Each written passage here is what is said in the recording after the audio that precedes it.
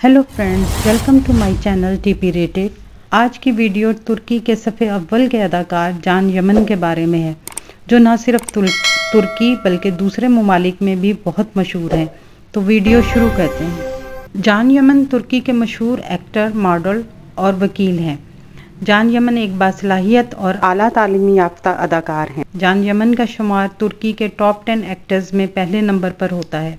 जान यमन को अरकेंजे कुश ड्रामे में बेहतरीन अदाकारी पर गोल्डन बटरफ्लाई अवार्ड से नवाजा गया।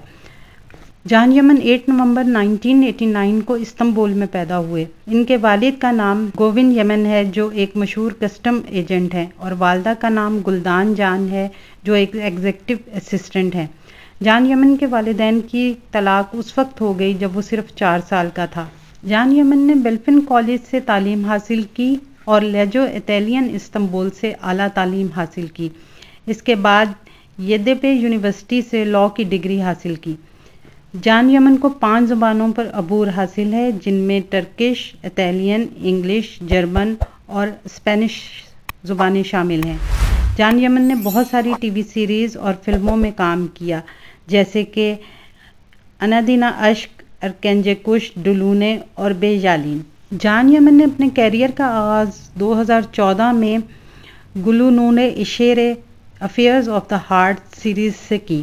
ये तीन बहनों की कहानी है जो अपने वालिद के साथ रहती हैं अपनी माँ के जाने के बाद, लेकिन उनके वालिद भी दूसरी शादी करना चाहते हैं। जान यमन का इस ड्रामे में ज़्यादा रोल नहीं था। 2015 में अनादीना अश्क में लीड रोल मिला। इस ड्रामे में डेफने और यालीन एक ही फर्म में काम करते हैं, लेकिन एक दूसरे से झगड़ते रहते हैं और इन्हीं लड़ाइयों के दरमियान इन्हें मोहब्बत हो जाती है। 2016 में हांगे में जे सेवे में which of us did not love series में भी जान को लीड रोल मिला। इस सीरीज़ में दो खानदानों को दिखाया गया है जो पुरानी दुश्मनी निभा रहे हैं और इनके बच्चे अब्रॉड पढ़ने जाते हैं और वहाँ शादी कर लेते हैं।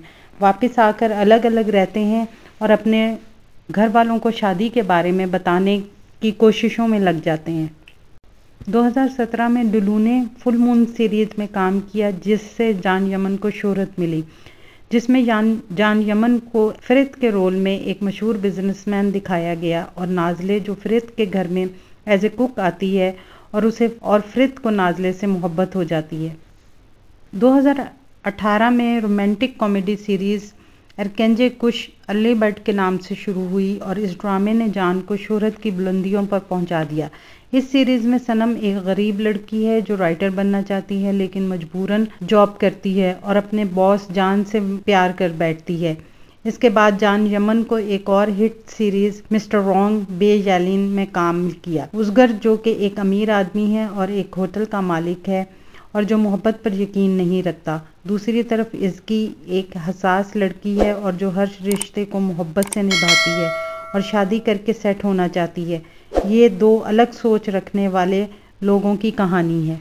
जान यमन को 2020 में गैर मुल्की सीरीज़ में काम करने पर बेहतरीन अदाकार के लिए नामजद किया गया। 2022 में जान यमन को अपने खैराती इकदाम के लिए अवार्ड मिला।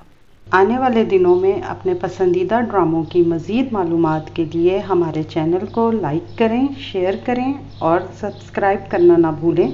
शुक्रिया।